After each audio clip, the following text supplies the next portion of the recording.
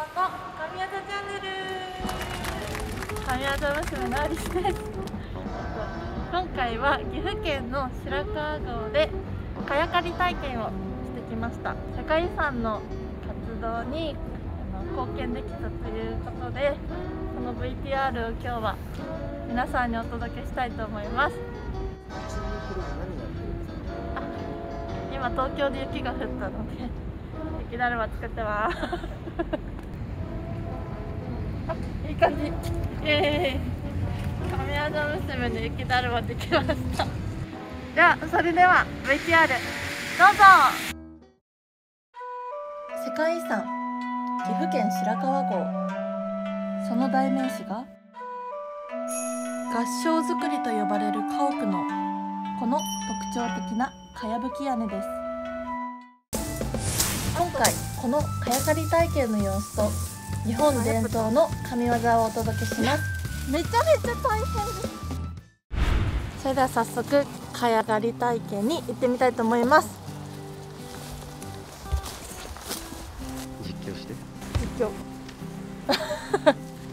そう結構体験に来てる方が多くて若い方もさっきいらっしゃったので楽しみです私も。よろしくお願いしますお願いします。このかやかり体験っていうはい。イベントを始めたきっかけっていうのは、もともと白川村の合掌造りは地元のこういった茅場で刈り取った茅ではい。みんな吹いてたんですけどはい。もともと合掌造りがこの養蚕のためにできた家屋なので、はい。まあ、今からだいたい60年前ぐらいの養蚕業の衰退とともに、まあ、合掌造りの数が少なくなる中でそうするとその茅がをみんな取る必要がなくなってくるので村の外から茅を購入するっていうようなことになっていくわけなんですけど、はい。まあその茅をせっかくなら地元の茅で、はいはいはい。えー全て吹きたいというような取り組みの一つで、まあこのイベントを始めました、このイベントのテーマである優位の大切さについても少しお話をおまあ、結いっていうのはもともとはこの屋根の吹き替えをする、えーまあ、この白川村のお相互扶助って言って、はいはい。えー労働力が、まあ、大変たくさんの労働力がいるのでその労働力を貸したら返すっていうあの相互扶助の仕組みなんです。そういった、まあ、仕組みであの大きな屋根を守ってきたということ。どこの優位の精神はこの後の人たちにも後世にも伝えていきたいと。そうですね、はい。皆さんでも支え合って守ってきたのが今にも残ってる。そうですね。だからその心を大切にしようねっていうことです、はい勉強になるお話たくさんありがとうございました、はい。で松本さんに教えてもらいながら早刈り体験頑張りたいと思います。実際に刈り取った茅は来年の合掌造りに使われますすごい、私が買った茅がはい、はい、どこかに使われてるかに。すごい嬉しいです、じゃあ早速よろしくお願いいたします。まあ、使う鎌はもう普通の草刈りの鎌なんで、はいはい、気をつけてもらってはい刈り方なんですけど、はいこういう茅をこの脇でこう抱えていただいてはい。手を近づけてたところに鎌は絶対やらないようにして、あ足も気をつけてもらって、はい。ここ隙間を作って、はいはいはい。こう刈るというえ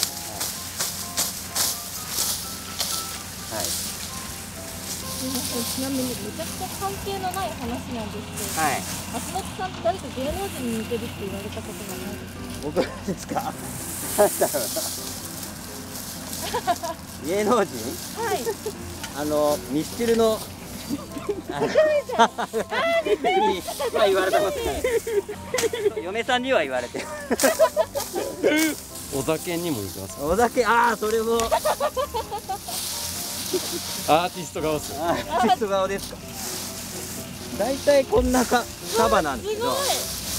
これを、まあ、2メートルぐらいあるんですけど、まあ、7分目ぐらいのところを縛る。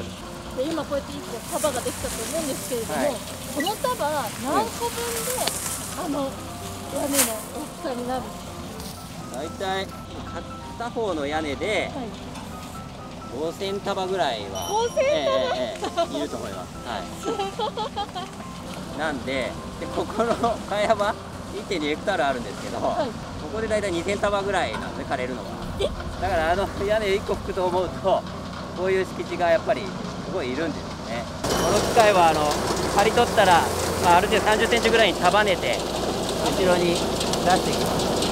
おそらく国内初だと思います。あー国内初。ススキを刈る機械としては。へこの機械自体もイギリスの方から輸入してきたーす。いません。借り心地いかがですか？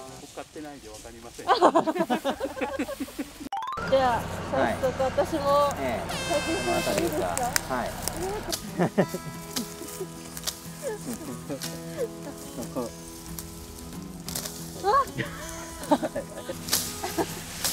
ああいいですね。はい。枯れました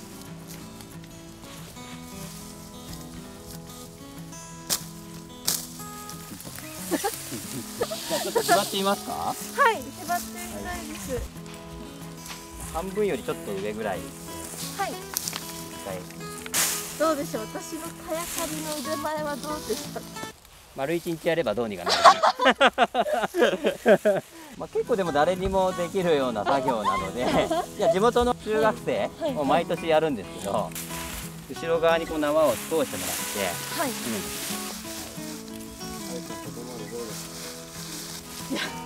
ちゃめちゃ大変です。じゃあできたらい。立ててみますか、立ちますやったー、はい。一つですけどやってみてどうですか。この一つでもう明日めちゃくちゃ筋肉痛だと思いますかこれまあ慣れた人だと、まあ、この束を1日60束ぐらいはあるみたいですね。60束。はい。私は皆さんの力になりたいので今日一日で10束、い作って東京に帰りたいと思います、はい左側の。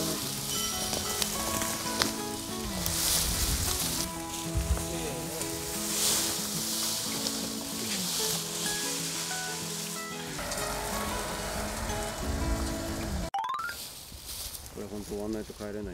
ちょっとスピードアップしてください。なんでこの業界入ったんですか？えー、普通の仕事がしたくなかったのでテレビ業界選びました。なんか会いたい芸能人とかいるんですか？会いたい芸能人ガクト様オーラす。ごそうだから10束やると約束してしまったので黙々と頑張りました。なんで今日に限って私一人なんでしょう？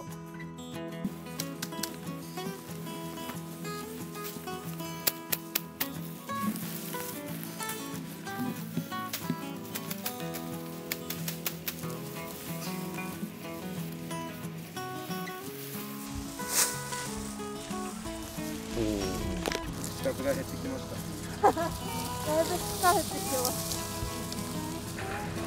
本当は今やりたくないと思います。たそんなことないですよ。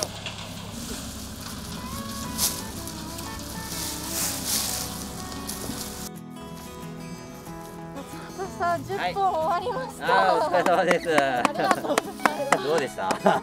めっちゃ大変でしためっちゃ大変でしょ玉を動かす腕が筋肉痛なかった。はい踏ん張るので太ももが、ええ。普段使わないところばっかり使うので。今日ええ。結構枯れたんです、結構枯れましたね大体。あ700束ぐらいは枯れてるんじゃないですかね。えすごい。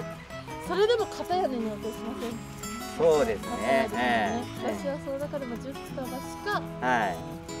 いやでも初めてで。この時間で10束素晴らしい。ありがとうございます。一人何束ぐらい？そうですまあ大体20束ぐらいは買ってもらいたいなっていうことで。じゃあ来年はね、はい。あのー、2人の先輩もはい。一緒に連れてきてはい。ちょっとかやかり貢献したいと思います。はい、よろしくお願いします。最後に買ったかやの保管倉庫へ見学に行きます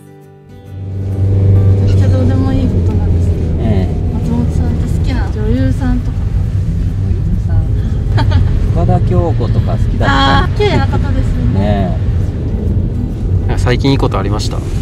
え？え何もいいことないですね。今日買ったかやが、はい。じゃあ私が買ったかやも10束もあそこに入ってる、こ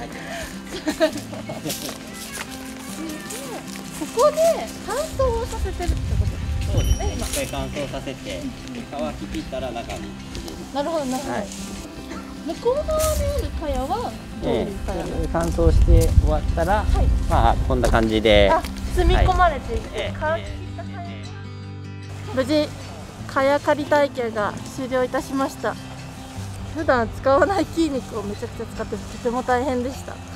でこれを片屋根に約5000本。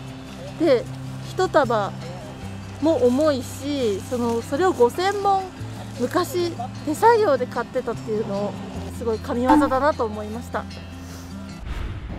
今日も動画見てくれてありがとうございました。チャンネル登録とグッドボタンとコメントもお待ちしております。